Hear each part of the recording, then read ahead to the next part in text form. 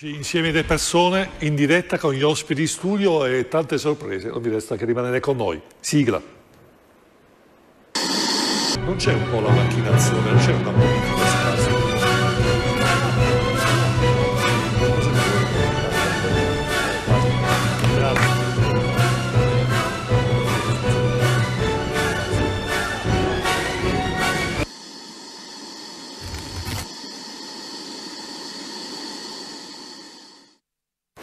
Amici e amiche telespettatrici, benvenuti ad un'altra puntata di Insieme Idee Persone. Siamo in coda della nostra stagione che come sapete è cominciata a settembre, un lungo tour de force che ha visto Insieme Idee Persone sempre più vicina alle esigenze della politica, del, dei cittadini, questo confronto stesso, ah, talvolta aspro, ma di confronto sereno e costruttivo, in, intervallato poi dall'esperienza del coronavirus, però questa volta torniamo con gli ospiti Ebbene sì, ci sono gli ospiti in studio, questa volta come la caratteristica del nostro talk show, quello di avere la possibilità di un confronto magari con persone che la pensano anche diversamente. Ecco, prima di presentare gli ospiti ricordiamo che avete la possibilità di guardare la nostra trasmissione in, non solo in diretta tv, ma anche come sapete è una diretta questa nazionale, ma anche su Facebook, quindi esattamente tutto quello che succede durante la trasmissione in diretta eh, avete la possibilità di guardarla anche sui social, su Facebook in particolare. Basta andare sulla pagina insieme alle persone, come vedete, contraddistinto da questo bel logo azzurro, eh, la possibilità di condividere, guardare la diretta e così avete la possibilità, se siete in giro, se siete in pizzeria, visto che siamo tornati anche alla possibilità di, di andare a fare una pizza o andare a fare una passeggiata, i vostri beniamini, le vostre persone che seguite anche fuori di casa no, o lontani dal televisore. Quindi con molta, con molta diciamo, dire, entusiasmo, con molta emozione, ritorno questa volta a, eh, a, pronunciare il nome degli ospiti che sono qui in studio, quindi vi presento eh, Enrico Cappelletti. Buonasera. Che è candidato Movimento 5 Stelle alla presidenza della Regione Veneto, quindi un candidato governato, governatore, come si dice.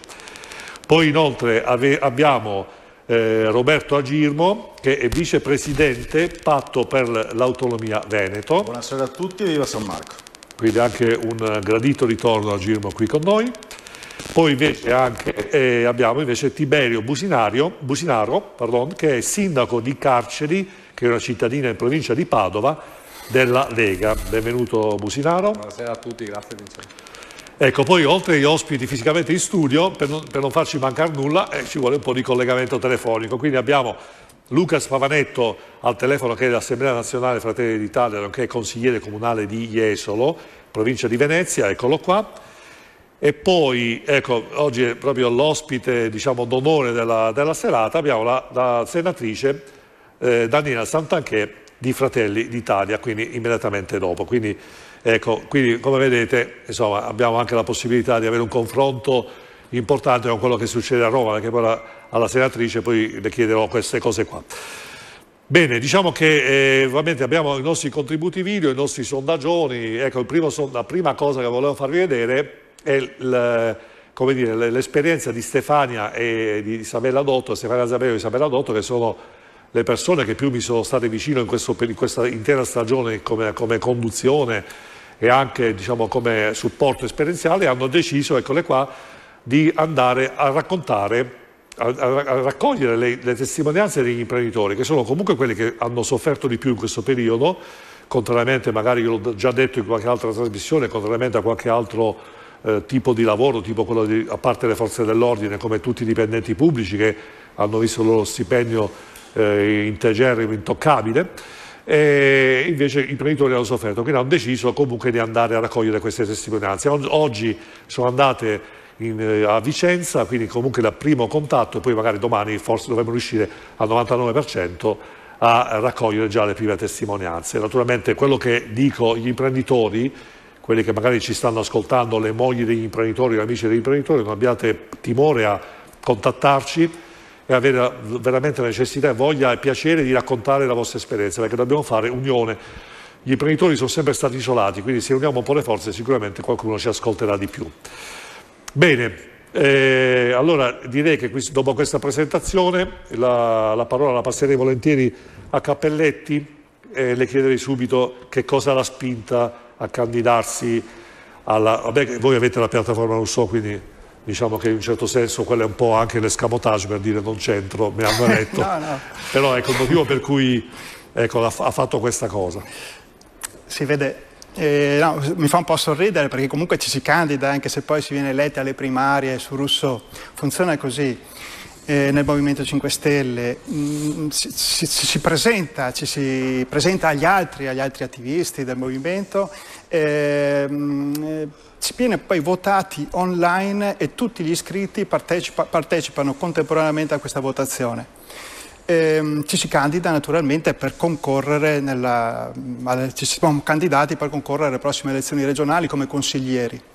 Tra i candidati che sono stati eletti alle primarie con questo sistema, chi si è proposto per fare anche la campagna elettorale da presidente perché eh, sostenuto, perché eh, magari con un'esperienza, perché eh, ha questa idea che, che, che è un un po' folle quando siamo nati, però poi abbiamo dimostrato di riuscire veramente a cambiare le cose andando anche al governo del paese in poco tempo, in pochissimo tempo, ehm, di voler ehm, accettare la sfida. E tra questi che si sono riproposti ci sono pure io che alla fine eh, sono stato il più votato, per cui ho l'onore e anche la responsabilità che sento pesare in maniera molto molto eh, forte di, di portare eh, eh, la, la, la, eh, il programma e le ambizioni, i sogni di tante persone che qui in Veneto si riconoscono nel Movimento 5 Stelle, io spero anche tanti che ancora non si riconoscono, ma da qui alla fine della campagna elettorale, potendo anche illustrare i nostri temi, il nostro approccio, la nostra anche per certi versi ehm, ehm, beh, trasparenza nel voler fare le cose, nel volerle dire, nel volerle spiegare. Benissimo, però ecco, Magari. io vedo la faccia di, di Businaro che dice vabbè tanto vince Zaia, cioè alla fine non c'è bisogno neanche di andare a votare, quindi oh no, cioè, qualcuno una volta ha pensato ma non votiamo più che non serve. Ma io penso che ogni campagna comunque vada vissuta e, e i risultati vaga, vadano conquistati. La prima cosa che mi viene in mente è che rispetto il coraggio insomma, delle, delle, persone che, che, si mettono in discussione, che si mettono a disposizione di una forza politica e quindi anche del voto degli elettori. La mia domanda che mi faccio subito, ma non è una provocazione, ma è proprio una curiosità, eh, votano il eh, presente, com'è che si chiama? Scusami. Cappelletti. Cappelletti eh, come Presidente per eh, proposte che fa all'interno di una piattaforma o perché viene bene in foto e quindi mm, pensano che magari, possa essere utile per eh, i volantini o quant'altro. Cioè, all'interno di questa piattaforma come si presentano i candidati? Curiosità perché non mi sembra che molti candidati abbiano esperienze amministrative, quindi mm, la curiosità è questa insomma che, che, tipo di percorso hanno fatto, che di, tipo di preparazione hanno fatto per amministrare la cosa pubblica, insomma, questo, semplicemente questo. Beh, Capelletti, se vuole rispondere... Sì, sì, no, ma io sono stato senatore della Repubblica per cinque anni, ho svolto il mio mandato eh, in Commissione Giustizia, ho portato avanti delle battaglie che per me valevano una vita, sicuramente valevano la legislatura, ad esempio la sospensione dei, term dei termini di prescrizione, che poi sono diventate legge non nella diciassettesima legislatura ma nella successiva. Ho portato avanti proposte di mia iniziativa come il DASPO e i corrotti che ho inventato eh, l'ho pensato, l'ho pensato era necessario, prendendo spunto proprio da quello che è successo, ai fatti di cronaca, di cronaca che hanno riguardato Vicenza, con delle notissime società che, che, che, che sono ricadute a distanza di anni nello stesso eh, problema di corruzione di molti anni prima. Ecco, ho detto no, hai truffato lo Stato una volta, eh, ti abbiamo preso, c'è una sentenza passata in giudicato, bene, non lo fai più non lo fai più. Quella, quella, quella, quello spunto è diventato una legge. È entrato nello spazio forse parlava di una, una visione eh, più rispetto, generale, rispetto cioè evidentemente... Questo, eh, qualcuno mi ha conosciuto. Eh, detto questo, la differenza sostanzialmente tra il Movimento 5 Stelle e gli altri partiti è che eh, i candidati non vengono scelti all'interno di una segreteria di partito a porte chiuse sulla base di uno scambio magari tra una spartizione tra correnti, ma si viene scelti sulla base del lavoro che è stato fatto sul territorio, sulla base delle attività che sono state portate avanti con i consiglieri comunali, con i consiglieri regionali, con gli attivisti, sulla base eh, anche del proprio curriculum, perché quella è anche un, un elemento evidentemente di distinzione e, e su quella base l'intero eh, numero di iscritti, quindi non solo gli attivisti, non solo chi ti conosce, ma tutti quelli coloro che sono iscritti ovviamente nella, nella Regione Veneto hanno la possibilità di esprimere una preferenza. Ecco, noi crediamo che sia più facile che facciano un errore tre persone chiuse dentro una stanza che non 3.000 che si leggono altrettanti curriculum.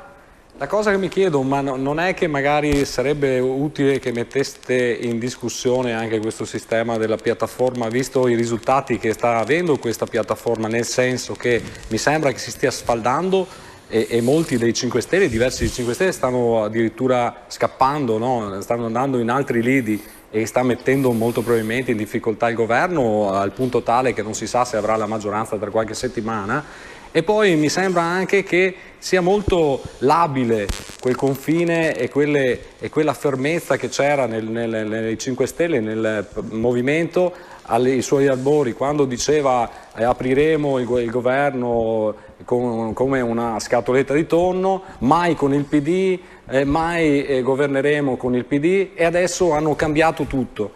E quindi mh, mm, non so se questa piattaforma, non so se questa scelta sia giusta e magari puntare invece su persone che si sono veramente distinte nel, nel, nel territorio ma eh, che purtroppo eh, voi eh, delle 5 Stelle eh, non avete una grande, una grande eh, possibilità di attingere perché non avete amministratori, avete pochissimi amministratori nel territorio. Sarà, sarà, che io, sarà che io purtroppo e, e, o per fortuna insomma, ho avuto una, un percorso amministrativo di lungo corso e sento um, che manca molto quando una persona che vuole amministrare la cosa pubblica non ha fatto un percorso magari anche che possa avvicinarsi alla cosa pubblica amministrando, sporcandosi le mani, dando le mani alla gente e ascoltando la gente direttamente nelle strade. Non lo so, eh, è questo che mi chiedo perché io ero, simpat mi, mi, ero, simpatizzante, cioè mi piaceva anche questo movimento che nasceva qualche anno fa, ma adesso è tutta un'altra cosa, insomma.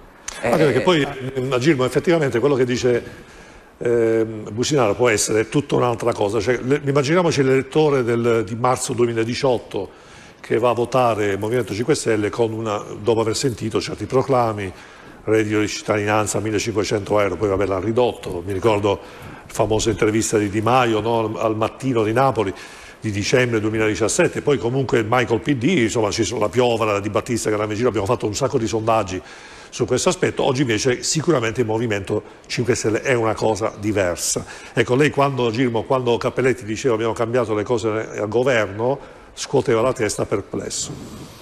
Ma vedi, allora, eh, indiscutibilmente ciò che dice Businario è per certi versi vero, ovvero sia eh, molti 5 Stelle sono arrivati al governo o comunque sono arrivati in Parlamento senza esperienza, ma d'altro canto l'esperienza bisogna pure iniziare a farla da qualche parte, quindi sotto questo punto di vista certo che iniziare a farla dal governo è un po' ostica come cosa, ma non mi soffermerei tanto su questo problema, perché sicuramente se ha fatto delle leggi in relazione a quello che è il discorso della... Eh, ehm, Giustizia. Della giustizia, grazie. Sarà un avvocato, presumo? No, perfetto. Allora, davo per scontato certe cose. Allora, no, non è così, ma non è un problema. E il problema maggiore in realtà è cosa si dice e che cosa si fa. Eh, riportando il tema in ambito regionale, in questi ultimi cinque anni ho avuto modo di conoscere abbastanza bene esponenti dei 5 Stelle presenti in regione. E oggettivamente alcuni di questi, quando parlavano di certe tematiche, eh, aveva una certa indirezione, un certo tipo di impostazione che poteva essere legittima. Poi guardavi 5 Stelle su base nazionale e c'era un disconoscimento totale di quelle che erano le istanze delle persone 5 Stelle su base territoriale. Eh, butto lì un argomento a caso, l'autonomia per esempio. L'autonomia? Eh, no, è, no, effettivamente ci stavo arrivando. Anche da noi in trasmissione, Movimento 5 Stelle. Guarda, no, ti do emblematico, Jacopo Berti che è stato il capogruppo e se non ricordo male anche il candidato presidente degli, eh, cinque anni fa, era assolutamente favorevole all'autonomia eh, del Veneto poi disconosciuto quotidianamente dai lati pratici della politica, diciamo, romana eh, o meridionale dei 5 Stelle, perché oggi come oggi al governo, eh, bene o male, belli o brutti, simpatici o antipatici, abbiamo un governo a trazione eh, meridionale, l'80% dei, eh, degli attuali ministri e sottosegretari arriva da Roma in giù. Quindi posso anche capire, da un certo punto di vista, che siano contrari in senso assoluto all'autonomia, specialmente se non sanno di cosa stanno parlando. Perché molto probabilmente, molto spesso, quando si parla di autonomia, si ha una visione dell'autonomia differente da quella che è la realtà. Io sono sicuro che parlando con Cappelletti, in quanto Veneto, presumo, ma manco quello che c'è qua, eh, sicuramente sarà favorevole all'autonomia, immagino, dato che eh, statisticamente lui fa parte del 98,1% di coloro i quali hanno votato sì, al, quindi per questioni statistiche lo davo per assodato, dato che avevo soltanto poche percentuali. Poi in realtà si scontrerà, glielo dico perché sarà così, si scontrerà con quelli che saranno i diktat che arriveranno da Roma. Quindi mi domando, ma che cosa andate a fare in regione? Aspetta, potrei dirlo anche per certi leghisti comunque. Eh? Cosa andate a fare in regione quando in realtà siete supini o proni al volere dei padroni romani, ma no, vale questa, anche per la Lega. Su questa, perché vedevo, vedevo Businaro che se la rideva sotto i baffi. È una onta e una ponta, no? allora, direi che su questa riflessione aperta su tutti e due i fronti di Agirmo lasciamo un piccolo, lasciamo un piccolo stacchetto pubblicitario e poi le risposte da parte dei nostri ospiti la birra morgana, una birra sana e poi bere una damigiana.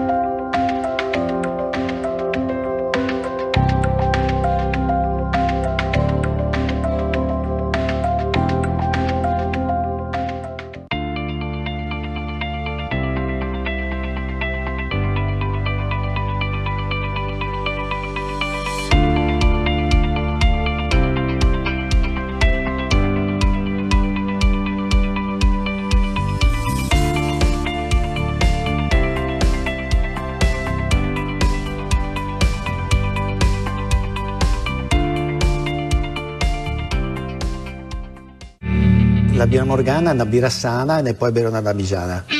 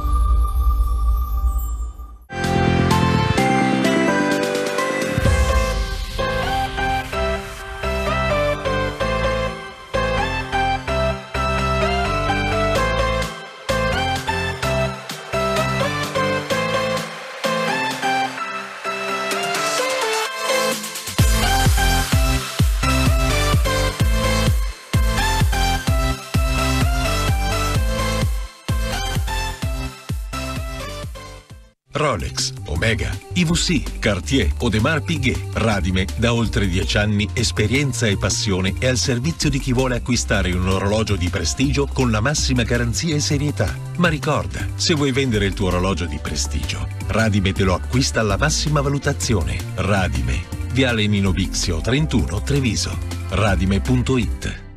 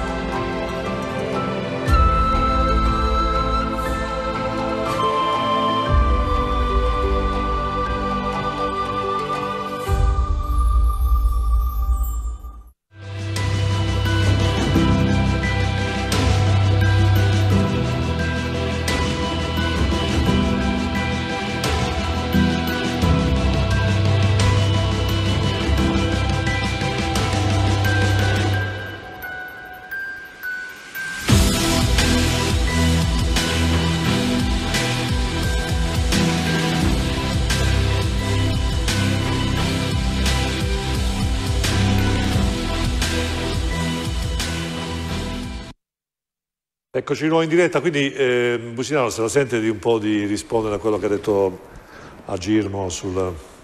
Ma eh, non ha detto molto, ha detto, eh, parlava dei 5 Stelle, ha detto... Ma anche la Lega, cioè molto... che... Sulla Lega non ho ancora capito, casomai poi ci confrontiamo, ha detto che non dovrebbero andare neanche quelli della Lega in regione. Però, non ho sai... detto questo, ho detto che raccontano una cosa e ne fanno un'altra. Ah, racco... beh dai, adesso, casomai mi spieghi cosa raccontiamo di, di, di, di, sbagliato, insomma. Poi io, se hai detto qualcuno della Lega... Sì, dai, non li ho detti tutti. Io dai. ovviamente sarò eh, costretto a difenderli tutti.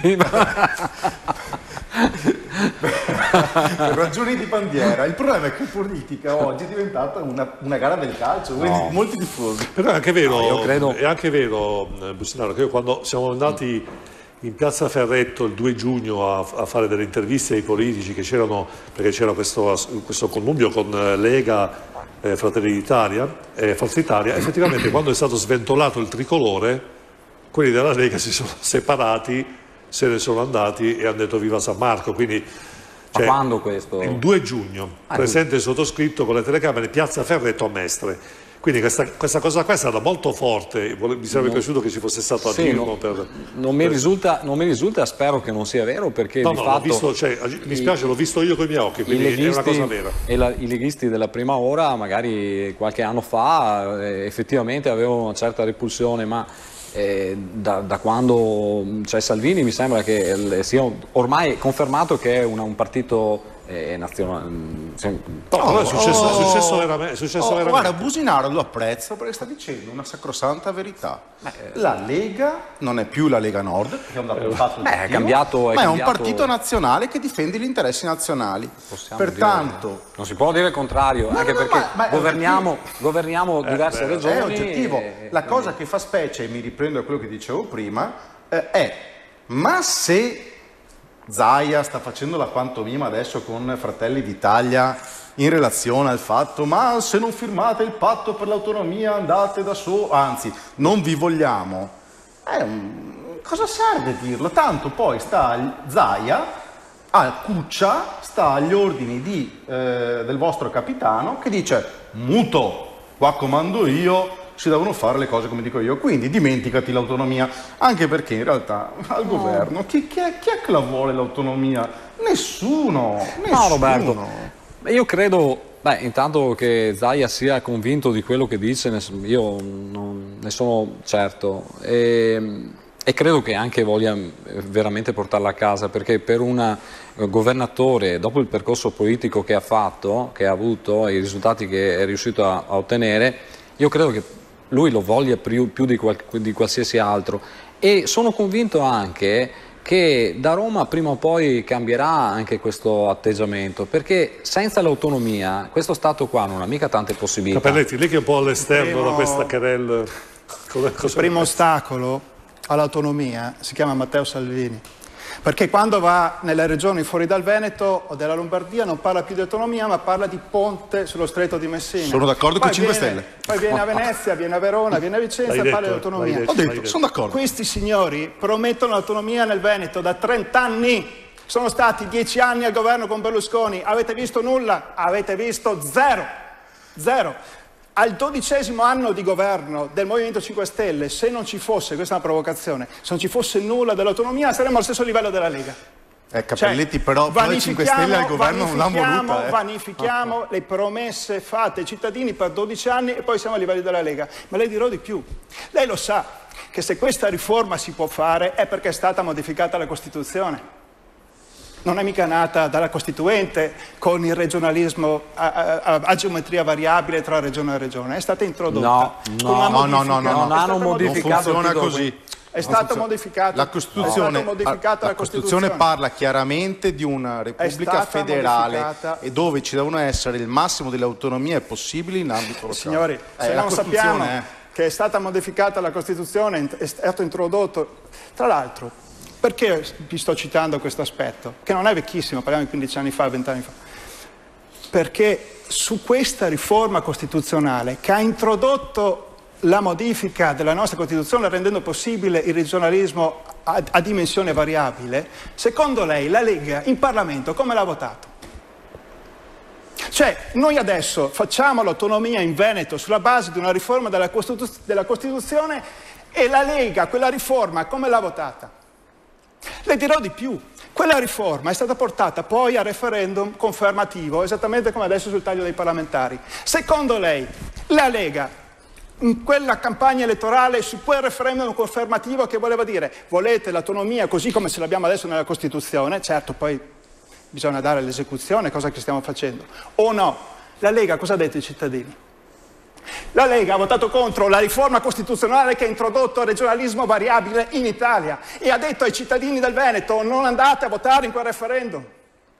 Quindi se adesso si fa questa riforma, lo si fa nonostante la Lega, non grazie alla Lega. Per questo che le dico che l'autonomia o la facciamo adesso in questo governo, e io ci spero tanto e ci conto, perché ne sono convinto, perché sono andato a votare al referendum, perché sono andato a votare al referendum, oppure no, vuol dire che proprio ha fallito la Lega, falliamo pure noi, e allora chi la fa? Ecco, mi pare che abbiamo al telefono Pavanetto, giusto? Pa- Pavanetto c'è? Buonasera Lovino, buonasera a lei. suoi buonasera, buonasera Pavanetto.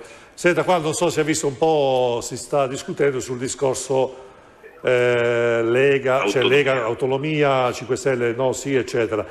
Ecco, io ho citato, eh, c'era anche lei il 2 giugno in Piazza Ferretto perché l'ho anche intervistata, e quando eh, c'era lo striscione tricolore in Piazza Ferretto, quando avete cominciato a Lino Rivameli, la Lega si è sganciata e ha cominciato a gridare Viva San Marco. Quindi alla fine eh, questa querela, che poi è venuta fuori anche con Zaia che ha detto voglio un impegno scritto da parte della Meloni per l'autonomia, quindi c'è qualcuno che crede fortemente all'autonomia, o meglio sta ripescando il tema autonomista per far credere che eh, Fratelli d'Italia e Lega non sono poi tanto d'accordo, ma è una strategia politica?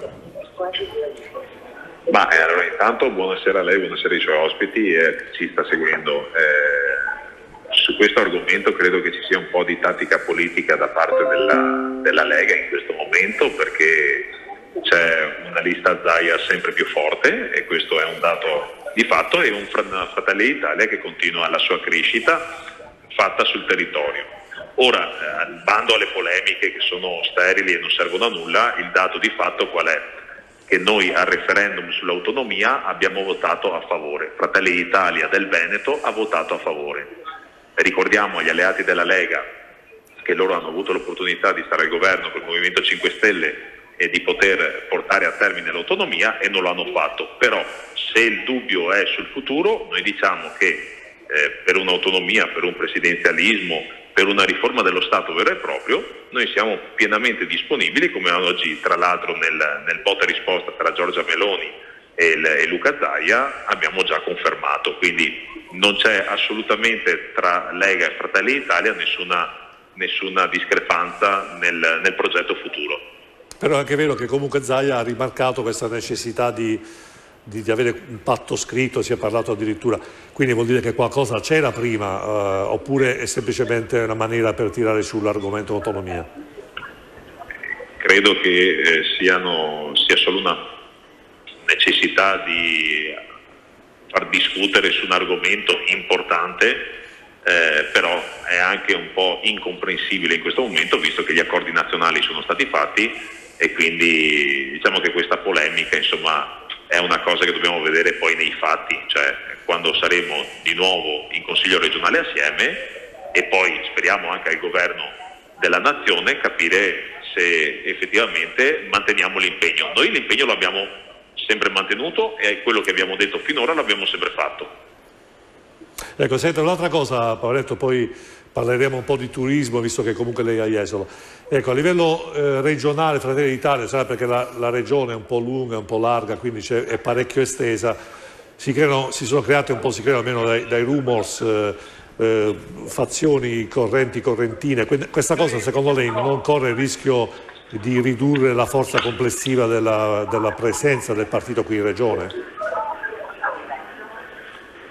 Eh, non ho... Eh, c'è il riverbero, allora, deve, sì. sento un riverbero della... deve no, abbassare no, il volume. No, no, no, no, non ho nulla. E se può ripetere velocemente Vincenzo che sì, dopo io... No, nessun problema. Cioè, in pratica sì, ormai è abbastanza chiaro, almeno da quello che si legge un po' su Facebook e sui giornali, che c'è comunque all'interno di Fratelli d'Italia in Veneto delle correnti correntine, delle persone che cercano di creare consenso, quindi questa no, cosa allora... non crede che possa ledere un po' la compattezza, l'immagine che invece la Meloni cerca di dare nel resto delle altre regioni? No, io, io credo che in questo momento ci sia solo una sana competizione interna, poi il 20 e il 21 di settembre ci saranno dei consiglieri regionali che indipendentemente dalla loro provenienza diciamo, o della simpatia del politico di turno eh, siano comunque tutti consiglieri regionali di Fratelli d'Italia. Quindi la storia delle correnti è una storia che eh, nasce e muore in, in pochi secondi. Ecco. Quindi lei dice che il Fratelli d'Italia in Veneto è compatto, quindi secondo lei è così? Quindi è compatto... Siamo compatti e stiamo lavorando tutti per lo stesso obiettivo. Va bene, senta Jesolo, eh, come sta andando il turismo? Parliamo un po' di aspetti più pratici. Come la reazione? Ci sono, cominciano ad arrivare gli stranieri oppure ancora non se ne vedono? Allora, c'è stata sicuramente un po' di ripresa rispetto all'inizio, nel senso che eh, fine settimana eh, Jesolo, ma come altre città della costa veneziana, località turistiche della costa veneziana, si vede insomma eh, direi anche strapiena. Eh, sono iniziati ad arrivare anche i primi turisti, soprattutto tedeschi, anche austriaci, che però bisogna sottolineare sono arrivati con molti dubbi perché pensavano di trovare una situazione totalmente diversa. Questo ci ha fatto capire che a livello nazionale il governo non ha lavorato in termini di comunicazione e di rapporti con gli altri stati in maniera corretta, perché questo è un dato di fatto, visto che eh, stati come l'Austria piuttosto che la Germania hanno fatto passare messaggi totalmente diversi rispetto a quella che è la realtà, ovvero i turisti pensavano di arrivare e di trovare una situazione di pandemia totale ancora oggi o i plessiglass sulle spiagge, quando invece insomma da diverse settimane abbiamo fatto passare il messaggio che mantenendo sempre le distanze e le regole, siamo riusciti a dare un servizio turistico e di divertimento in piena sicurezza. Benissimo. Pavanetti io la ringrazio, andiamo avanti col programma e ovviamente l'unica cosa che le possiamo dire è che siamo assolutamente solidari con lei per, perché ovviamente il turismo ritorni come era prima, eh, siamo la nazione più turistica d'Europa, forse anche de, fra le migliori del mondo, quindi speriamo che questa cosa torni presto non solo come nazione ma in particolar modo proprio come Veneto, che insomma è una delle soddisfazioni più grandi. Va bene, grazie a voi. Grazie, grazie della disponibilità. Grazie. Bene, direi che possiamo lanciare lo sacchetto pubblicitario e poi prima però vi voglio far leggere questa cosa qua che è una cosa simpatica che è una, il figlio di, una, di, un, eh, di un mio conoscente mi ha mandato e come si fanno gli esami di ammissione all'università eh, 45 centimetri il tavolo, lo, ve lo leggo perché veramente siamo al paradosso. Se questa è l'Italia, signori, io certe volte mi dico mi vergogno di essere italiano. Lanciamo lo spot e poi vi racconto. La birra morgana è una birra sana e poi bere una damigiana.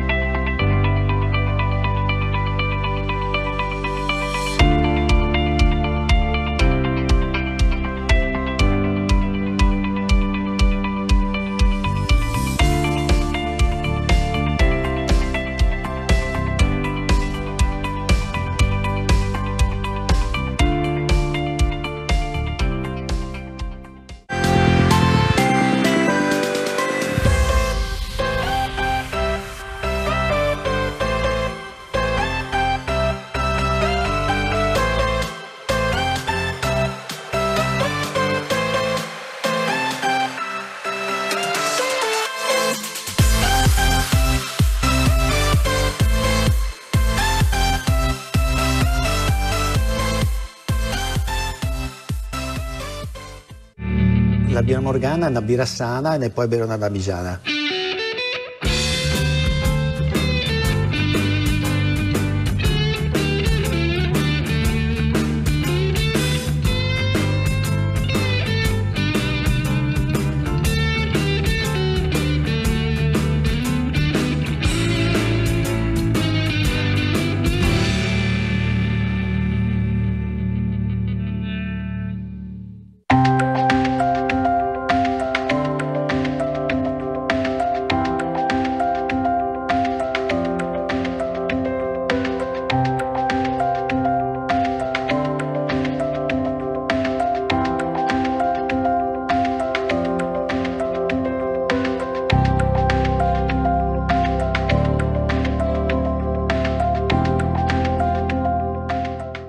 Rolex, Omega, IVC, Cartier, Audemars Piguet, Radime, da oltre dieci anni esperienza e passione è al servizio di chi vuole acquistare un orologio di prestigio con la massima garanzia e serietà. Ma ricorda, se vuoi vendere il tuo orologio di prestigio, Radime te lo acquista alla massima valutazione. Radime, Viale Nino Bixio 31 Treviso.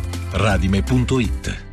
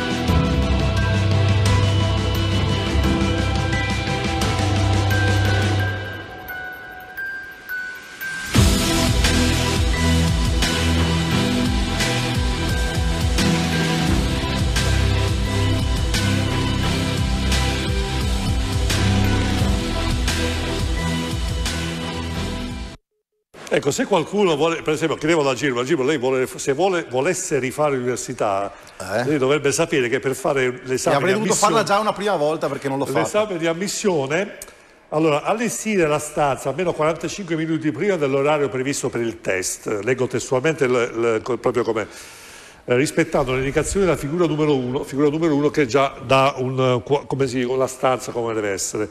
Scegliere una stanza della casa silenziosa e correttamente illuminata. Posizionare il monitor del PC e il dispositivo mobile in maniera tale da evitare riflessi e abbagliamenti. Quindi eh, posizionare alle proprie spalle un supporto eh, su cui solo quando la commissione d'aula virtuale lo richiederà si dovrà collocare il dispositivo mobile. Quindi scegliere un'angolazione rispetto alla scrivania di circa 45 gradi, quindi in pratica uno deve andare là col goniometro e scegliersi i gradi. Un'altezza da terra massima di un metro e mezzo, cioè deve essere un metro e mezzo alto il cellulare, una distanza dalla scrivania di circa anche qua un metro e mezzo, per par condicio hanno fatto. Ecco, questo qua sono le indicazioni necessarie per fare gli Guarda, te esami. lo confermiamo entrambi perché abbiamo entrambi figli che fanno l'università No, no, lo so e in questo periodo stanno facendo Cioè, esattamente ma, così. ma ti l'esame. pare giusta una cosa del genere? Cioè che dobbiamo questa mano, queste, cioè alla fine fai il distanziamento sociale, porta i ragazzi a 5 metri, tanto l'università, le aule di università, chi ha fatto l'università le conosce, sono grandissime, e fai, ma, ma queste cose qua sono ridicole, ma vi rendete conto se per caso qualche, est- qualche ragazzo dell'estero entra in possesso di questo documento, che cosa possono pensare? Guarda, sono le pazzie di questo governo. Ad esempio, fanno adesso la maturità ai ragazzi, te lo dico perché ho mio figlio che fa la maturità, e sono in presenza. Ovviamente col distanziamento sociale, con la mascherina, eccetera, eccetera. I ragazzi universitari, no. Eh, esatto. Eh, I calciatori possono giocare partite di calcio, a calcetto non si può giocare. Eh, si può andare... In discoteca, per esempio, Sono- guarda. il teatro, sì, no, cioè non si È capisce. il, sono gov- è il governo delle marionette e dei burattini. Ma sono tre mesi che si dice così. Il 27 di febbraio Matteo Salvini ha fatto pressione sul governo perché si aprisse tutto. 27 di febbraio, tutti i morti sono venuti nelle settimane dopo. Aprite tutto anche le discoteche, andatevelo a vedere su Google, è impressionante. Il 7 di marzo il presidente della regione Veneto, Luca Zai, ha mandato una lettera al governo con tanto di relazione tecnica chiedendo che venissero abrogate le zone rosse del Veneto, cioè chiedendo che non ci fosse nessun lockdown. Attenzione, nelle tre settimane successive abbiamo avuto. Beh, Caprese c'è stato anche qualcuno che alla, nei governi al 31 gennaio no, no, si è comprato perché aveva chiesto la stessa cosa alla Confindustria, nello stesso giornale lei legge la richiesta della Confindustria 7 di marzo e la richiesta della Regione Veneto identica. Per fortuna ha cambiato due giorni dopo l'idea, per carità, perché perché si è reso conto di aver fatto una sciocchezza madornale e l'abilità di Zaia è quella di aver cambiato continuamente, questo glielo riconosco. L'abilità di Zaia è... Ma se non ci fosse stato il governo che prendeva la lettera di Zaia e la buttava nel cestino, cosa sarebbe successo in Veneto? Ma comunque, guardi Cappelletti, adesso io per, mi tocca fare il bilanciere però per dovere di cronaca bisogna anche che le dica che c'erano il eh, ministro Speranza, Conte, Zingaretti che sentiti anche dal sottoscritto che dicevano ma quale ma dai, influenza, c'è un caso, quindi le situazioni purtroppo cambiavano da un momento, però guardi, posso garantire che ormai tanto è storia che il Presidenza del Consiglio il 31 gennaio faceva incetta di mascherine, guanti, bombole di ossigeno, gel eccetera eccetera, non l'ho detto io, è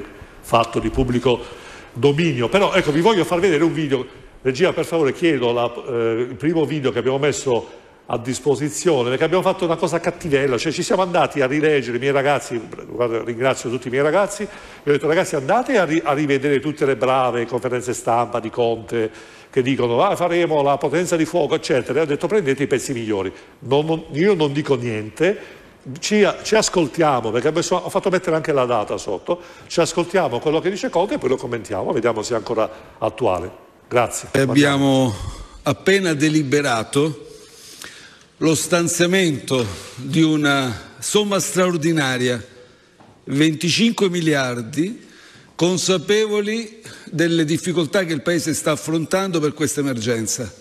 25 miliardi significa quindi 25 miliardi di disponibilità finanziarie da non utilizzare subito, ma sicuramente da poter utilizzare per far fronte a tutte le difficoltà che stiamo affrontando per questa emergenza che, come ho sempre dichiarato, è sia sanitaria sia economica e ha chiaramente un importante impatto sociale.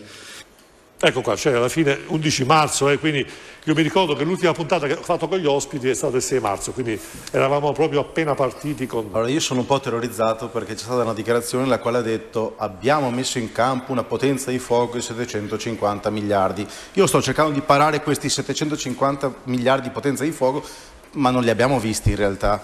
Eh, parlo da imprenditore, quindi non parlo da politico.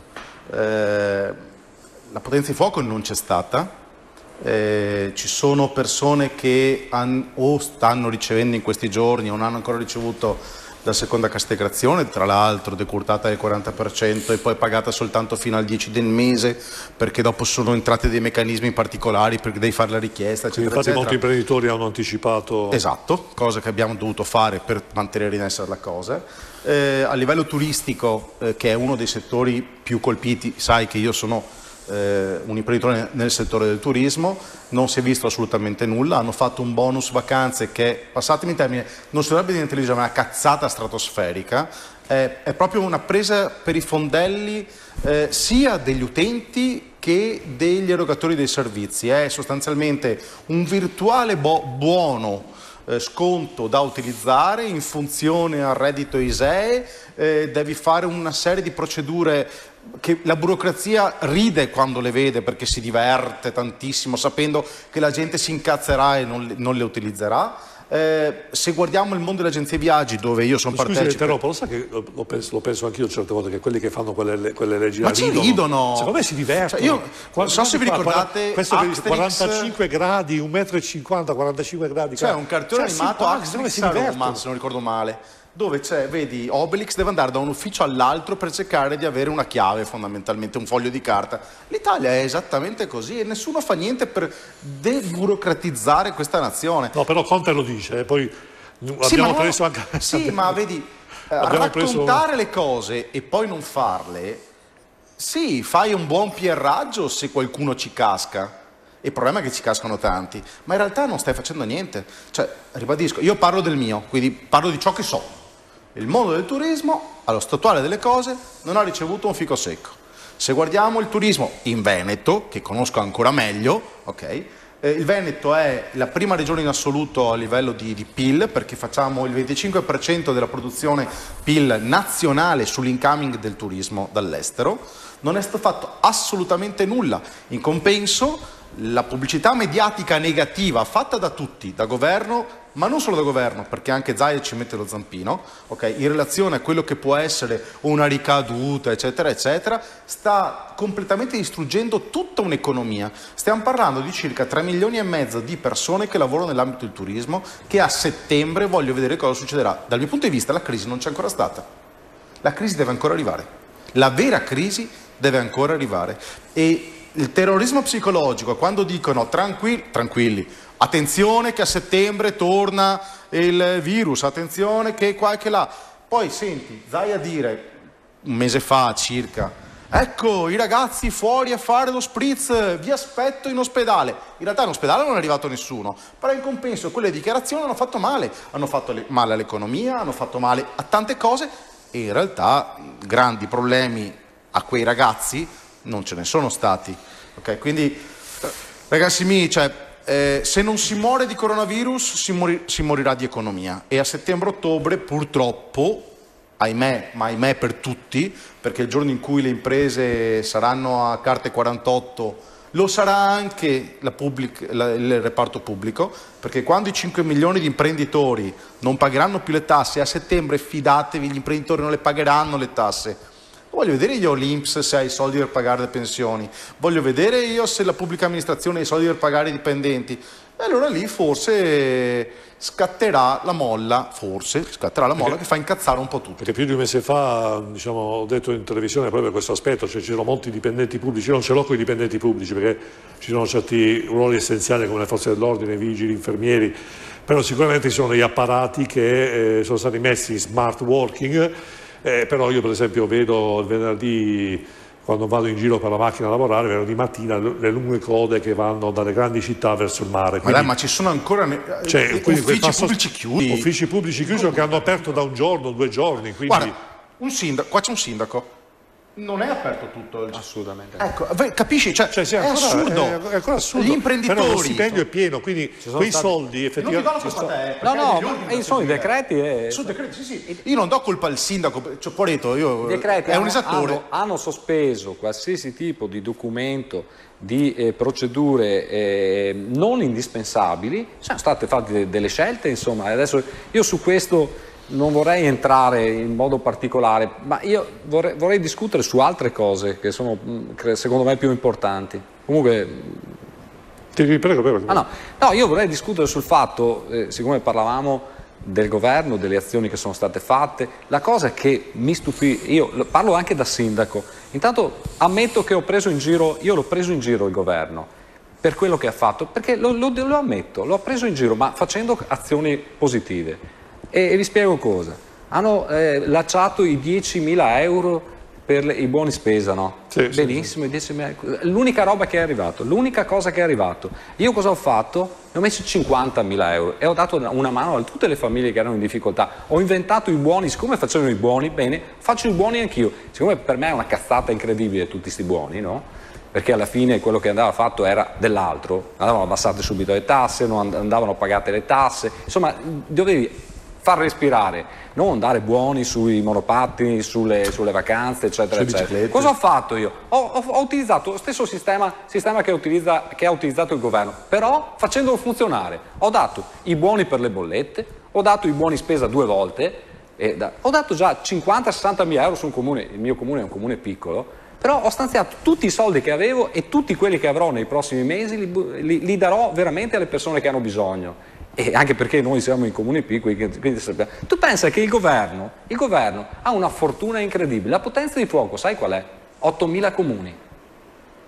Cioè, il, lo Stato ha 8.000 comuni, ha 8.000 mani lunghe sulla, sul, sul, territorio che possono aiutare con capacità, con funzionalità, con efficacia e con rapidità, possono aiutare i cittadini che sono in difficoltà. Ma questo è stato sfruttato da Conte? Non hanno fatto nulla, no. non hanno fatto. La cosa assurda ha tutto... Hanno, hanno eh, elargito o fatto finta di elargire contributi, contributi, contributi che, no, che poco si sono vi visti. Sì, ma la cosa assurda che non hanno fatto, quello che non hanno fatto, e lo dico da sindaco, lo dico perché vedo che mancano queste necessità e lo dico anche imprendi per gli imprenditori imprenditori.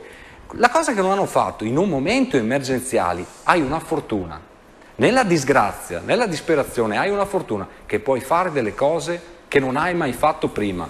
Potevano mettere in moto tutti quei consulenti che, avevano, che hanno preso a Roma e finalmente mettere mano sul codice degli appalti, finalmente di darci la possibilità. Io ho, ho sette opere da far partire ma non riesco a farle partire perché manca il casellario giudiziario da un mese che aspetto per far partire una ditta. Che se sarai? Ho già fatto, ho già fatto l'appalto, ho già firmato il contratto, manca un casellario giudiziario per un, casellario, per un documento, non riesco a far partire la ditta. Ma vi rendete conto? Se io fossi stato a Roma avrei detto, carissimi comuni d'Italia, quante opere avete voi in bilancio? In bilancio, già, già oggi, in bilancio, quante opere avete? Saranno 30-40 miliardi? Minimo. Gli avrei detto, tu entro il mese di, di, di, giugno, voi sindaci siete tutti commissari, andate ad appaltare subito quei lavori, subito immediatamente. I codici di appalti, la trasparenza, la corruzione, ma se tu dai responsabilità al sindaco, sai dove andarlo a prendere se, se, fa delle cazzate? Basta che scrivi delle regole chiare. Avevano la possibilità di sburocratizzare, non hanno fatto questo. Ed è questo che chiedono gli imprenditori. Ti aggiungo no. una cosa, guarda. Eh, c'è il decreto, decreto, decreto, Cappelletti anche poi. decreto semplificazione che è stato annunciato, però attenzione, mi pare di sentire parlare il sindaco come se appartenesse ad un governo che viene dalla Luna e non da, che, come appartenesse ad un, ad un, partito che da lui, e non a un partito che invece ha governato 12 anni gli ultimi 25 il paese. E quindi sì, tutte queste critiche che vengono fatte a tutta una serie di norme che ci sono perché sono state fatte da chi ha governato il paese negli ultimi 25 anni, almeno, almeno eh, sono state fatte o non sono state cambiate da chi ha una responsabilità di governo così ampia. Il, il Movimento 5 Stelle ha governo due anni. Però penso Però, Cappelletti che prima si riferisse al fatto che, che, Conte ha detto in televisione sì, e allora, no, no, allora le, le, do, le do dei dati aggiornati, questi sono dati mh, oggettivi. Al, al, al, 19 di giugno, dom- allora, sulla garanzia sui prestiti bancari, eh, a seguito della garanzia data sui prestiti bancari, di cui poc'anzi si diceva non è stato erogato nulla, no, no, no, ci sono state 669 mila richieste e sono stati erogati 36 miliardi 842 milioni. No, Gilmo vuole di cui, precisare... Eh, di cui 48 mila, 48 mila domande devo... in Veneto Guarda, per sono scortese ma la interrompo. Sono scortese ma la interrompo.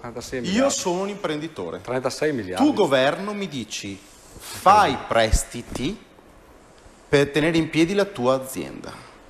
Scusa, ma, ma è una presa per il culo. Lasciami finire. No, no, vabbè, se parli solo tu. È, una, allora, no, no, allora, è una presa per il culo. Tu fai. Ma non ora, è sei già, sei già messo male. Sei già messo male. Ne, fai ne, prestiti uno, per cercare uno. di rimanere a galla. Mi parli sopra. Esatto. No, no, perché il governo. Non prendiamo per il culo la gente che sta ascoltando. La gente che sta ascoltando. Ascolta solo te perché parli sopra Non prendiamo in giro le persone. Allora, gli imprenditori che sono lì davanti alla televisione, che hanno dovuto gestire il problema con i loro soldi, hanno sentito un governo che le ha detto indebitati ancora di più, ma la cosa più bastarda che è stata fatta non è stata quella di annullare delle tasse, posticiparle. Allora, scusami, ma io che sono un imprenditore che sono già messo male perché non è colpa del governo, mettiamolo così, è arrivato sto, sto virus e io non riesco a lavorare. Io, io ho 100 agenzie viaggi, il mio network fa circa 30, miliardi di sì, 30 milioni di fatturato, siamo a meno 86%.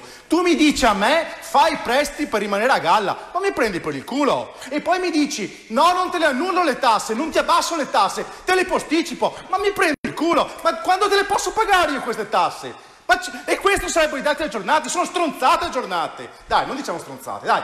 Cioè, è una presa per il culo. La gente che è a casa, lei capisce queste cose. I politici che vogliono fare politica finta, becera, bastarda, ti dicono ma noi abbiamo prestato soldi. Ma cosa abbiamo prestato allora. soldi? Ma vergognatevi. È un governo questo, ma dai, vergognatevi. non era stato erogato nulla. Sentiamo, sentiamo gar- a seguito delle garanzie bancarie, a seguito delle garanzie bancarie sono stati erogati 36 miliardi. Ma per sopravvivere! Ma fammi parlare, perché se parli solo tu si, si conosce solo il tuo punto di vista. Se mi consenti Oggettivo. di eh, vabbè. Sentiamo Cappelletti a giro. Non è stato fatto solo quello, sono stati messi in cantiere eh, provvedimenti per 80 miliardi di euro, quando Salvini diceva ci vogliono 30 miliardi per far partire l'economia, ne sono stati messi 80, più c'è il recovery fund, che anche quello Dove potrebbe essere veramente sei? una grande iniziativa. È è stata data la possibilità di mettere in cassa integrazione anche per le società che avevano uno o due dipendenti per esempio. Tu non le potevi pagare? Cioè, che alternative hai? No, no, Ti assi no, casa gente. no. E poi cosa ha fatto? Un altro governo senzialista? Eh, date eh, ancora il governo, date ancora la reddito di cittadinanza, sono lo aumentate a versati. chi? No, no, no, perché non è stato fatto soldi. nulla. Non Lo è stato Stato fatto non ce li ha più i Non è soldi. stato fatto nulla. Alle partite IVA per la prima volta nella storia della Repubblica Eh? Italiana sono stati dati 2.200 euro. Sono pochi, sono d'accordo. Cosa sei che sta da? 2.200 euro. Sono Ma la mia, oh, giuro, go per te, Ivan, noi go visti. Noi go visti. Ma la gente, cioè, la politica mesi. vive in un paese che non è questo, 600, non è quello reale. 600, 1200. Adesso anche questo. Ma dove sei arrivai? Tos, cioè, dove 600, sei arrivai? 600, 1000, che Non tutti. 600, 600 No, ma Ma non sono arrivati. Allora, Cappelletti spicca il fatto comunque che è stato utilizzato, però questo me lo deve consentire, che insomma un po' me ne intendo di televisione e comunicazione, che Conte dal, da marzo ha, ha fatto 11 conferenze stampa in diretta Facebook, prima del telegiornale, dopo il telegiornale, raccontando cose anche che poi non si sono po- purtroppo concretizzate. Sì, però è vero. Quindi questa cosa è, anche questa è una È- cosa... è vero allora io mi immagino, necessità- sempre, faccio l'esempio sempre, lo stesso.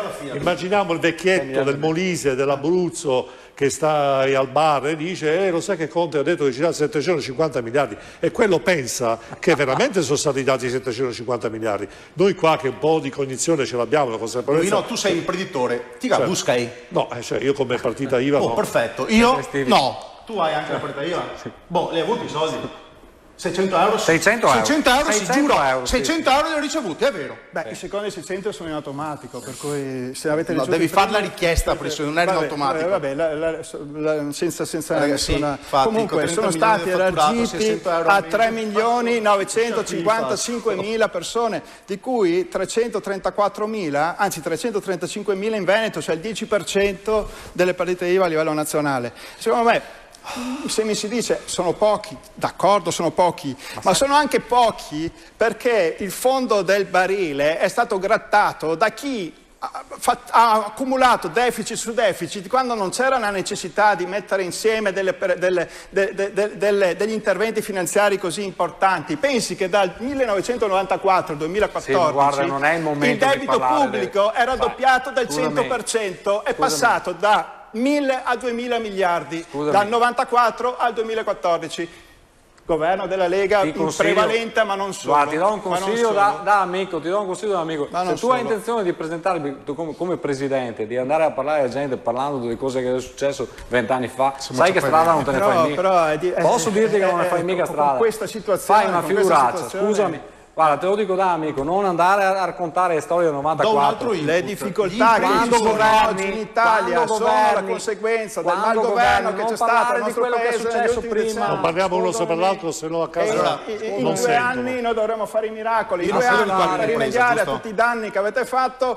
Lascia stare, pensa Ecco, poi proviamo, scusi, ma chiedo non alla regia se c'è la possibilità di mettersi in contatto con la Santa Che, proviamo questa telefonata. Non penso, cioè può darsi anche di sì, non ti conosco. Eh, hai un'impresa? Boh, No, perfetto. l'ho avuta. L'hai avuto, quindi attualmente durante il lockdown non ce l'avevi. Perfetto. Allora, eh, ti do una voce da imprenditore. Gli imprenditori non ne può fregare meno degli aiuti di Stato. Io personalmente, toglimi le tasse, mi arrangio con i miei soldi. Io mi rimetto in sesto, mi rimetto a posto l'azienda con i miei soldi. Non voglio niente da te, ma in questo momento non puoi chiedermi niente. Perché se io, che sono uno dei 5 milioni di partita IVA, smetto di pagare le tasse, smetto di pagare i dipendenti, smetto di pagare gli affitti, scusate, ma va a puttane la nazione. Perché i 5 milioni di partite IVA sono quelli che muovono l'economia nazionale. Ma c'è stato un Il, intervento il, sull'IRAP, c'è il Movimento stato un 5 intervento Stelle, io non volevo prendere il stato Movimento 5 un intervento Stelle sulle bollette. perché in realtà è, è troppo facile sparare su... nulla. Sentiamo, abbiamo la Santa Che linea. cammina. Pronto? Pronto? Sì, buonasera, buonasera senatrice, buonasera.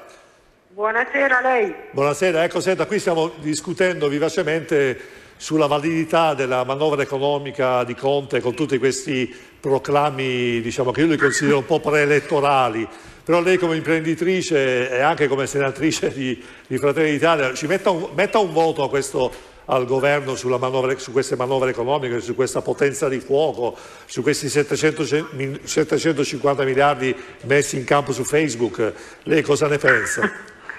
Ma io penso che sono tutti numeri all'otto, che ormai siamo abituati dopo gli stati generali a Vita Pamphiglia e al Grande Fratello, che quei 750 miliardi non sono atterrati nelle tasche degli italiani, degli imprenditori, dei lavoratori, delle famiglie. E ricordo che oggi ci sono ancora moltissimi lavoratori che devono pre- prendere la cassa integrazione e ricordo anche che se non ci fossero stati imprenditori che hanno anticipato la cassa integrazione sarebbero ancora di più i lavoratori che praticamente l'ultimo stipendio l'avrebbero preso il 27 di febbraio.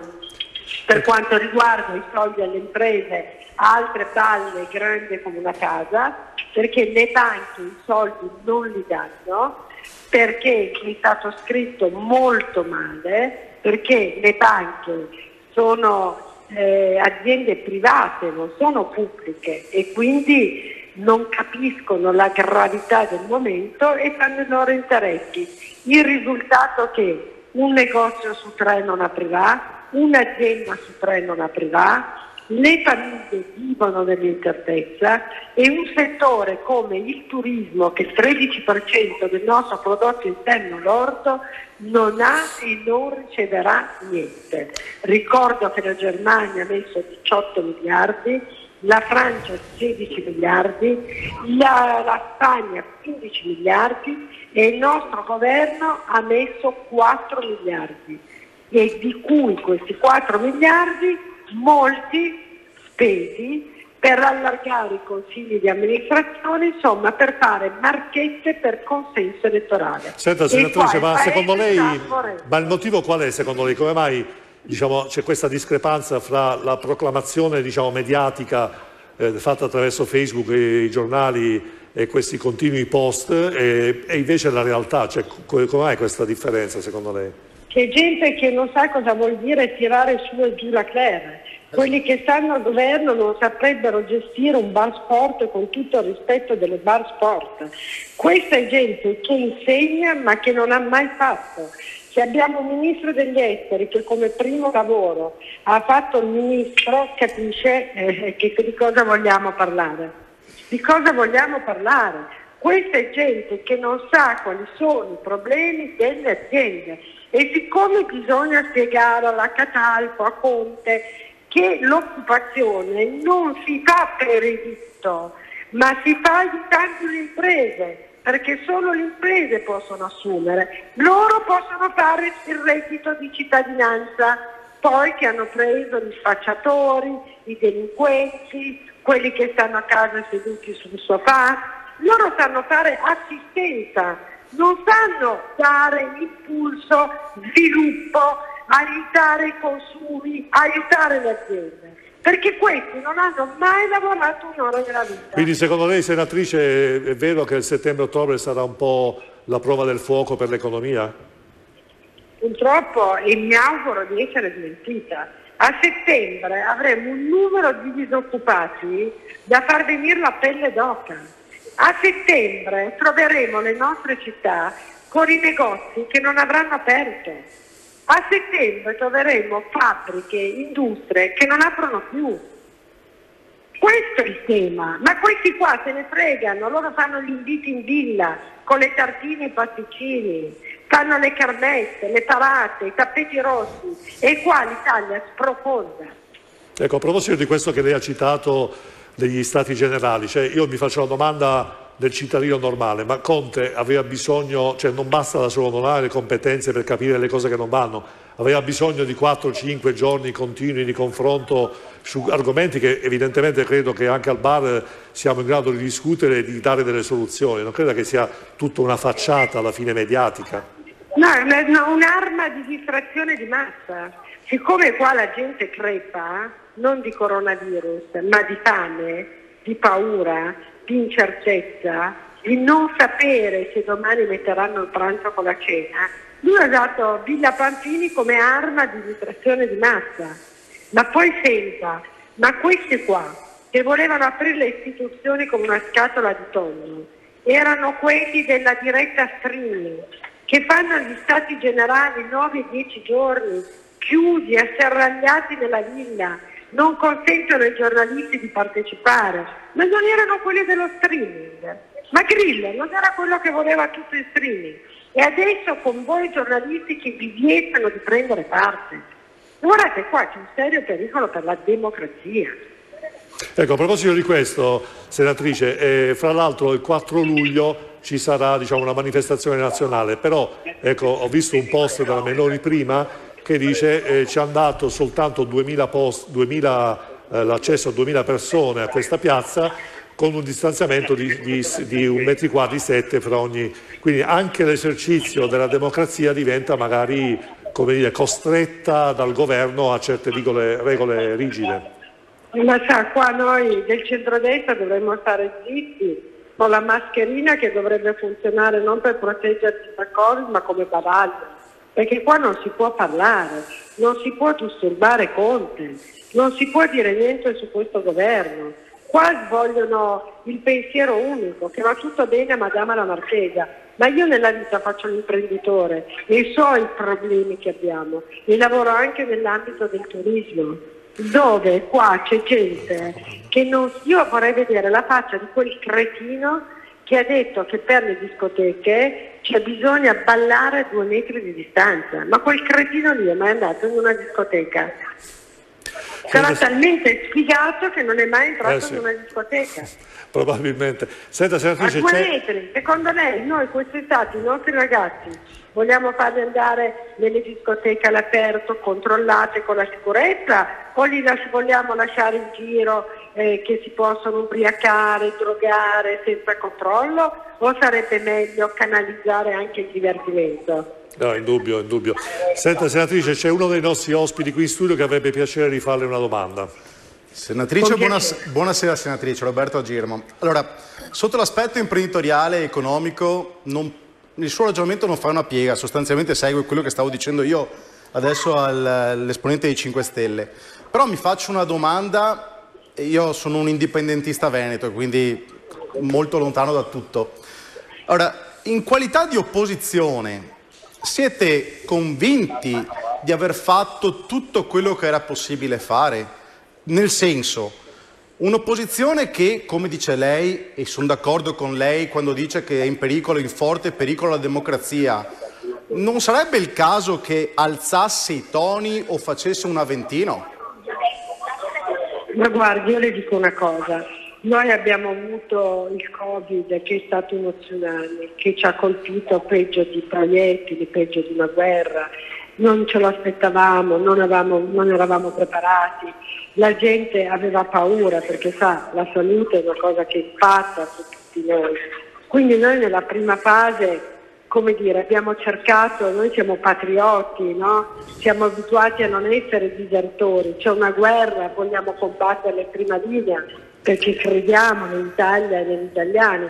Quindi c'è stata una prima fase dove era anche difficile quando c'è di mezzo la salute eh, metterci a essere contro. Noi abbiamo cercato in tutti i modi di voler esserci, di partecipare. Ricordo che se oggi gli italiani hanno questi 80 miliardi di euro che poi sono stati spesi male e tardi, ma ce l'hanno grazie al voto determinante dell'opposizione, perché questo governo non era nemmeno in grado di avere i numeri per poter votare uno scostamento di bilancio. Quindi ci siamo comportati da patrioti. Benissimo. Adesso è il momento di non più tacere, è il momento di denunciare le grandi colpe di questo governo, è il momento di denunciare il fatto che questo governo non ascolta e non prende eh, in considerazione i nostri emendamenti, che sono fatti per dare soldi alle famiglie e alle imprese. E quindi adesso cominceremo a fare quell'opposizione vera. Se vogliono il prossimo scostamento di bilancio, certamente non lo voteremo a scatola chiusa. Benissimo, eh, senatrice, io allora la ringrazio della, della sua testimonianza e anche ovviamente della sua disponibilità. Come sa questa è una rete nazionale, Grazie. quindi spero che questa- le indicazioni che ha dato lei siano state raccolte da più imprenditori possibili, più persone che sono state deluse da questo governo, almeno sull'aspetto della manovra economica. Grazie ancora e piacere. Grazie, grazie ancora. grazie, grazie, buonasera a tutti. Grazie, grazie, buona serata. Bene, che dire eh, Businaro, quindi effettivamente eh, come in effetti la domanda che ha fatto a Girma è abbastanza eh, diciamo, logica nel contesto, Ma... quindi l'opposizione che si, si, è vista costretta a non poter fare più l'opposizione, però oggi reclama evidentemente una, un'azione più incisiva, perché ricordiamocelo, in questi ultimi mesi quante volte l'opposizione ha, detto non ci ascoltano, fanno finta di ascoltarci, non ci considerano, quindi anche quella, il Parlamento che col DPCM è stato completamente abbandonato. Guarda, eh, io ci ho pensato e la domanda di Agirmo è legittima e, e, e penso l'abbiamo pensata in molti questa domanda. E di fatto io come sindaco che poi sono un sindaco che difficilmente tace, no? se c'è qualcosa che non mi piace, pur essendo un sindaco di un comune piccolo, io in certi momenti se ho qualcosa che, che secondo me eh, non va, eh, io lo dico, mi, mi prendo questa, questa diciamo, licenza. No? E, però effettivamente è vero che nel momento del lockdown dove le persone avevano paura, erano anche spiazzate da, da una cosa che non conoscevamo, era difficile organizzare e anche era irresponsabile secondo me eh, fare del, dell'opposizione eh, diciamo forte. Quindi eh, ci siamo messi a disposizione, anche noi sindaci ci siamo messi a disposizione, abbiamo aiutato anche, anche quando era irraggiungibile l'obiettivo di aiutare, quando arrivavano contestualmente, contemporaneamente, giorno dopo giorno arrivavano decreti su decreti annunciati, che poi arrivavano due, dopo due o tre giorni e io mi sono messo a disposizione per, per aiutare le persone e con avvocati abbiamo interpretato per, per so mesi. So che lei anche la notte ha studiato, mi ha, sì, mi ha detto sì, che sì. ha studiato anche la notte. Abbiamo studiato, con, abbiamo studiato per giorni e giorni questi decreti per interpretarli e dare una mano.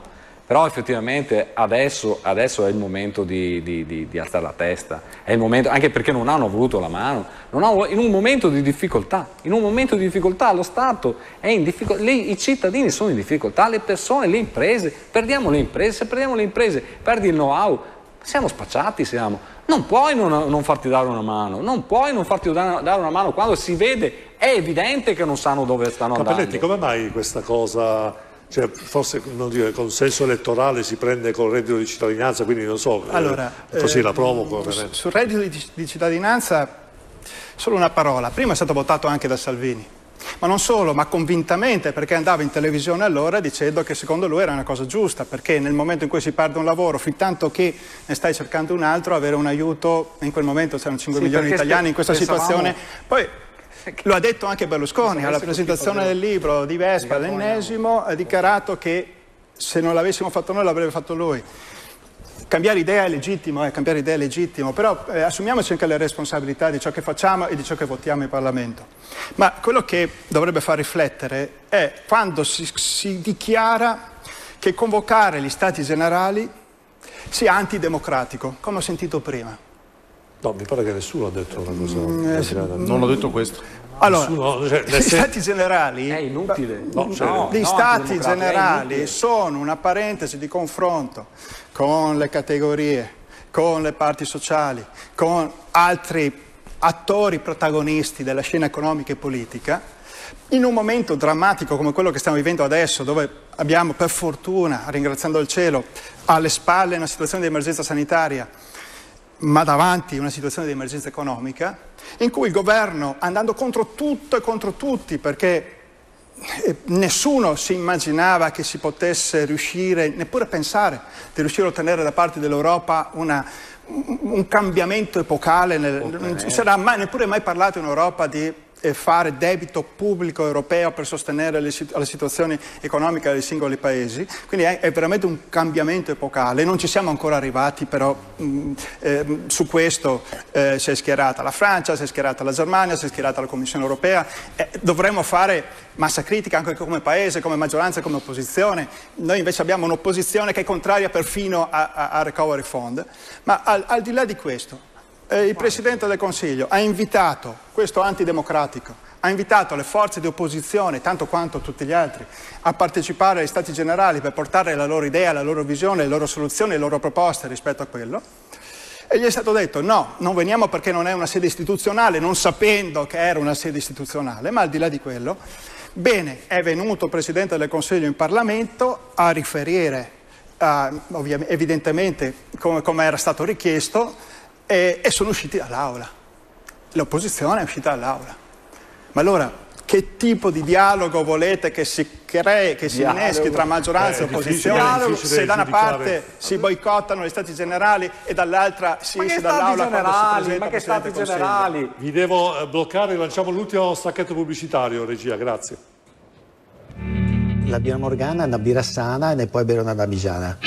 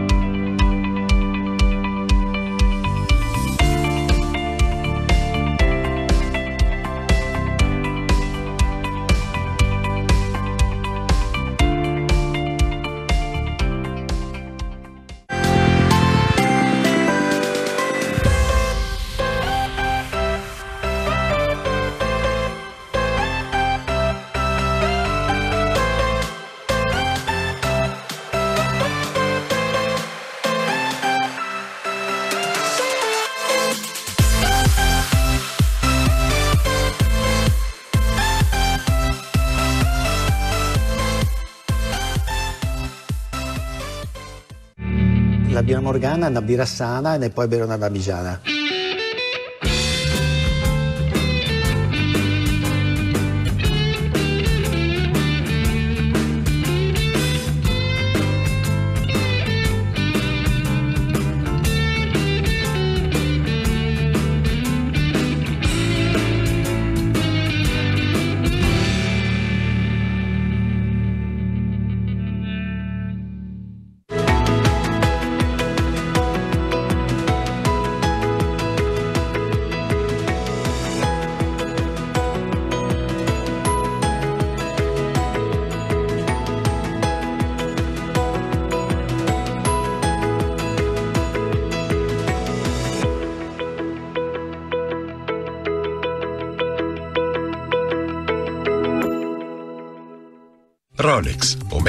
IVC, Cartier, Audemars Piguet, Radime, da oltre dieci anni esperienza e passione è al servizio di chi vuole acquistare un orologio di prestigio con la massima garanzia e serietà. Ma ricorda, se vuoi vendere il tuo orologio di prestigio, Radime te lo acquista alla massima valutazione. Radime, Viale Nino Bixio 31 Treviso.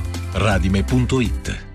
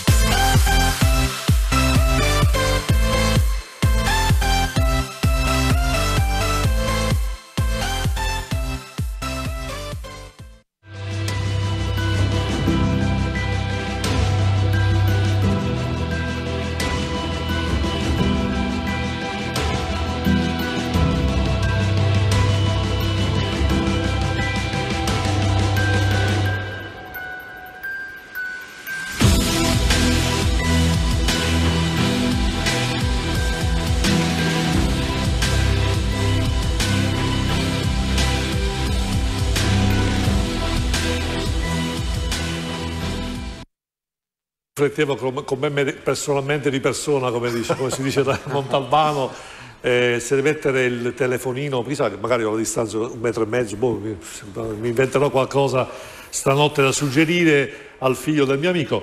Eh, però effettivamente parliamo di regione, a Girbo sono d'accordo. Eh, qua alla fine qualcuno dice ma tanto non c'è bisogno di candidare governatore, tanto il Veneto si governa da solo, troppo facile per Zaia governare il Veneto.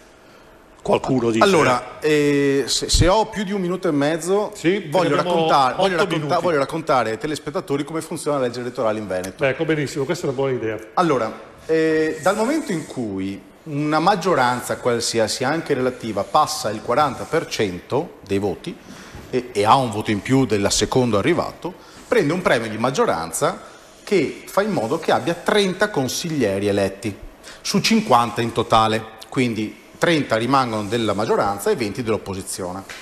Eh, qualora il giochino che stanno facendo in questo momento Lega e Fratelli d'Italia andasse in porto, che cosa succederebbe? Quindi fingere di, di, di litigare, sì, allora, diciamo, per Stanno andare... facendo delle prove di litigio per capire cosa gli conviene fare. Sotto l'aspetto puramente numerico-politico, oggettivamente conviene che, eh, a, alla maggioranza che Fratelli d'Italia corra da sola. Perché?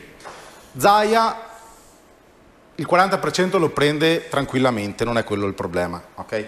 Quindi i suoi 30 consiglieri li fa.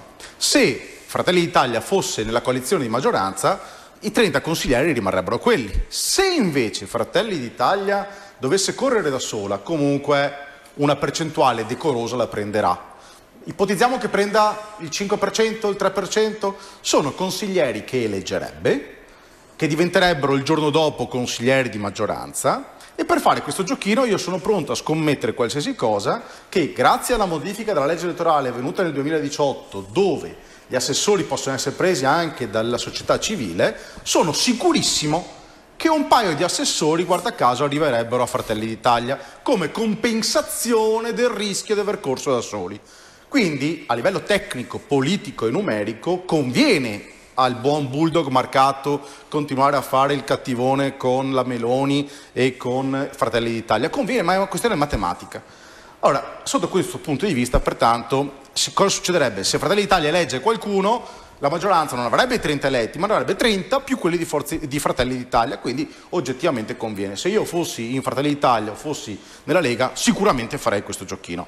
Se non lo fanno è per mere questioni legate al, al discorso nazionale, però anche qui c'è un però. Ora, se lo fanno, c'è una, un ulteriore vantaggio per Zaia, perché Zaia dimostra di essere quello figo, quello veneto, che dice non hanno firmato, io voglio l'autonomia e quindi i cattivoni stanno fuori. Quindi fa il figo, eh, fa capire che lui è veramente veneto e poi così intrippa un altro po' di gente sulla sua, sulla sua linea. È una legittima operazione politica poco decorosa, ma funzionale all'obiettivo. Cappelletti. Ma è vero quello che ha detto. Però io non la chiamo una legittima operazione politica, io la chiamerei una truffa ai danni degli elettori e vi spiego perché. truffa. Ma vergognatevi, vi spiego perché, ma vergognatevi, spiego perché. Una truffa ai danni degli elettori perché se io sono d'accordo, sono d'accordo di andare a governare la regione assieme a eh, Tizio Caio Sempronio, mi fingo, mi fingo di, di andare all'opposizione, quindi io mi candido per andare all'opposizione contro di te, ma sono d'accordo per governare assieme. Riceverò dei voti da parte degli elettori che mi voteranno nel momento in cui sono contro e che saranno legittimamente dei voti per chi va a fare opposizione rispetto all'altra lista, non per chi è d'accordo già di governare assieme ma si presentano in maniera separata. Questo secondo me mm, è, questo sì no, no, sarebbe antidemocratico perché la legge elettorale prevede dei seggi per la maggioranza e dei seggi per l'opposizione, non prevede dei seggi per un pezzo di maggioranza che finge di fare opposizione solo durante la campagna elettorale per poi tornare dentro in maggioranza. Bucinaro, cosa... Tu parli di democrazia, parli di truffa, tu che sei andato a fare il senatore non hai preso un voto, l'hai preso un voto, un voto l'hai preso, da, hai preso un voto da, da, un cittadino. Vai adesso a fare il presidente, vai adesso a fare il presidente, diventerai consigliere regionale sicuramente. Ma, ma non prenderai un voto. Posso darti. Posso, chissà quanti posso, che te ne perdi. Posso darti, che te ne perdi. Posso darti un'informazione. Ma vai a candidati, sì, perché qua stiamo a parlare del voto dei, dei, dei Veneti. Sai cos'è una truffa?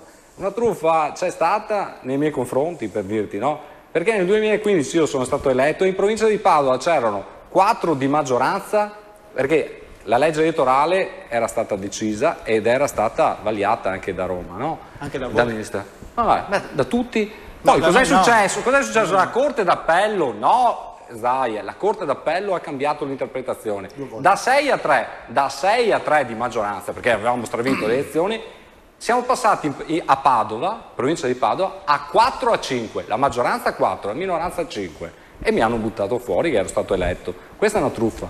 Io posso dirlo, posso permettermi. Tu parlerai di truffa quando eh, prenderai il voto dei cittadini. Perché se hanno cambiato la legge elettorale hanno fatto bene, perché comunque mancava un premio di maggioranza, perché eh, Zaia aveva stravinto ed aveva 26, 26 consiglieri contro 22. Con tre consiglieri perdevi anche la maggioranza. Cioè, Ah, io secondo me... io sono favorevolissimo a- ad introdurre la preferenza, ma ci mancherebbe altro. Sono Sì, però non è- Ma la legge elettorale noi l'abbiamo subita, mica l'abbiamo voluta, mica Eh, l'abbiamo sì, votata. Voi la l'avete votata. È il muto che dice al cieco non guardarmi così. nel senso, be- bella questa, vi è piaciuta? Ora, nel senso che ora abbiamo un 5 Stelle che parla di truffa, co- come avevo spiegato io, però è legittimo perché in realtà la legge elettorale è quella, ok? Quando loro stessi hanno fatto di quei tramacci per restare al governo che metà basta. Quindi Ma quale eh, tramacci? No, eh, infatti perché è legittimo, infatti anche il vostro essere al governo è legittimo. Per me sarebbe come lo dici tu, però è legittimo. Quindi, ora mettiamola così, in entrambi i casi giocano con le regole che hanno creato in alto. E quelle regole, una volta che sei in alto, convengono a chi sta in alto, in ogni caso. Il problema ce l'abbiamo noi, piccoli, che per riuscire a avere una eh, democrazia diretta, per riuscire ad avere una rappresentanza diretta, ci dobbiamo fare un mazzo tanto per eh, delle leggi elettorali che rendono difficile la partecipazione dei movimenti tra virgolette piccoli Purché non E avvenga- non avvenga i, media, come- i come- media sono asserviti al potere di chi sta in alto per connivenze economiche perché ci sono giornali di cui non faccio il nome che ricevono contributi da chi sta in alto, non certo a chi sta in basso. Quindi se uno in basso dice ma io non sarei d'accordo, quello in basso non ha spazio, perché quelli in alto gli dicono devi parlare solo di me. Poi ci sono quelli comprati da una parte e quelli comprati dall'altra. Quindi quando una formazione politica piccola cerca di venire fuori, il giorno in cui ci riesce è un'apoteosi di risultato, perché ha dovuto lottare, lottare contro tutto e tutti. Non avvenga, però, scusi, loro comunque purché- hanno avuto dei contributi quando sono partiti e quel vaffanculo in piazza che ha lanciato Grillo gli ha permesso di poter avere una ridondanza mediatica perché evidentemente dei media hanno avuto delle sovvenzioni per creare la possibilità al loro movimento di essere esposti mediaticamente e non mi si dica di no. Purché magari i piccoli movimenti però non facciano la fine di fare il- la stampella di Zaia come è successo poi nella precedente legislatura, giusto? Allora, quando noi abbiamo partecipato nel 2015 come movimento collegato a, eh, alla maggioranza, il nostro obiettivo era di eleggere almeno un consigliere cosa fatta. Purtroppo quel consigliere si è venduto per 30 denari alla maggioranza, purtroppo abbiamo messo una pecora marcia all'interno di un No, paniere perché, solido. perché se- l'indipendentista deve fare l'indipendentista. Comunque ci saremo.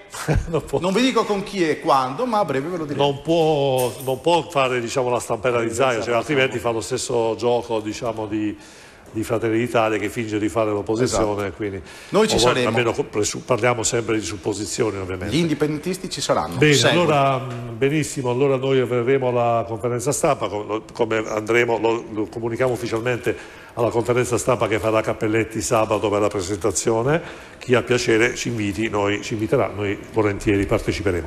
Ringrazio allora Enrico Cappelletti, candidato Movimento 5 Stelle alla presidenza al governatore della Regione Veneto, Roberto Agimo, vicepresidente Patto per l'Autonomia Veneto, Tiberio Businaro, sindaco di Carceri, provincia di Padova, Lega.